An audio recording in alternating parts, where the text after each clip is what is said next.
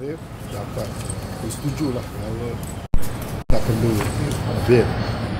sebab saya ni orang yang tidak akan lari lah. No flight risk. Masuk I want to thank the court. Very correct decision. Very kind decision. We must not live in fear. Uh, we, we cannot live in fear of the leaders. It's the leaders who should be fearful of us the people that's only how democracy works that's the only way a free society jadi the charges like this may may happen to me, may happen to you. Uh, but we must not be afraid. We have to take some risks. This is a wonderful country, so we need good leaders. And if leaders do not follow the law, if leaders subvert the system,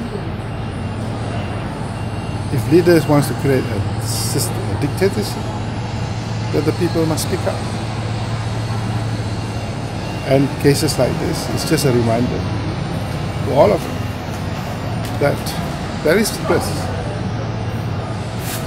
If you want a democracy and you want a, this, a good government, good leaders, you have to take some risk and fight.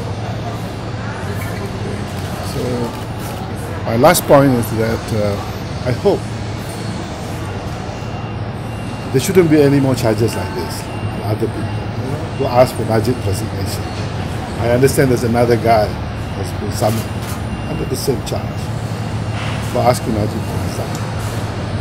I think there are about 20 million people who want Najib to resign. It would be ridiculous to our court system if we're going to charge all of them.